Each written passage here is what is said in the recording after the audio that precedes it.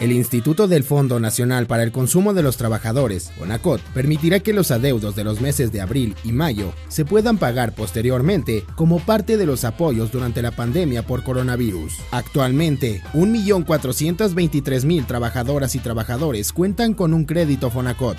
Conscientes de la situación actual, se implementó el Plan de Alivio FONACOT.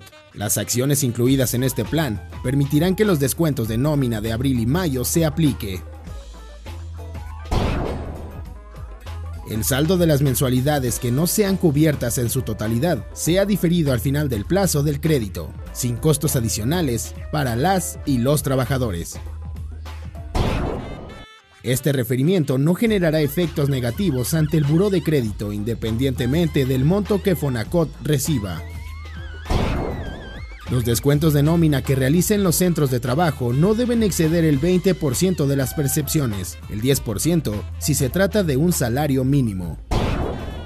En caso de variaciones en el ingreso, el centro de trabajo debe notificar a Fonacot y descontar solo la parte proporcional,